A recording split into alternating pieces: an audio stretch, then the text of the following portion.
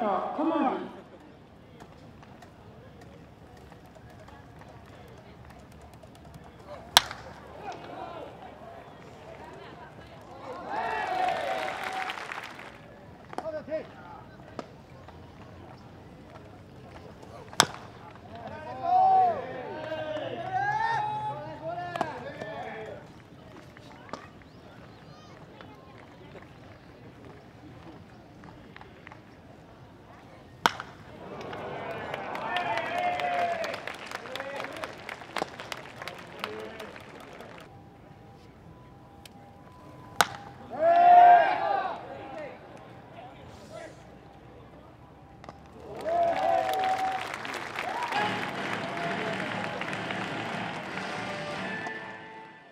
まあまあ、ある程度投げられたと思いますけど、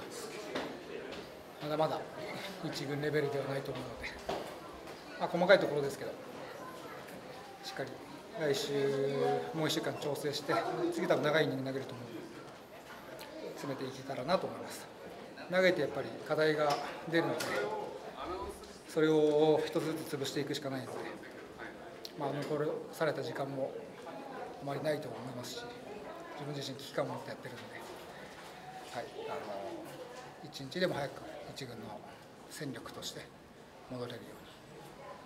はい、一緒にやっていきます。